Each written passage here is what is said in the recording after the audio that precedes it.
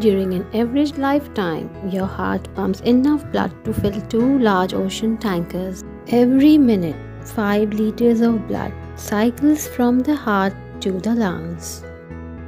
2 million blood cells die every second. 7% of your body weight is made up of your blood. If you like the video, don't forget to subscribe.